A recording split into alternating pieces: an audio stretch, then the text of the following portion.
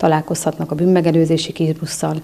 számos balesetmegelőzési programmal, valamint a katasztrófa védelem részéről tűzsátorral, tűz, tűzet fognak imitálni a kollégák, melyeket majd el, el is fognak oltani, illetve kerékpáros ügyességi versenyen is várjuk az odalátogatókat.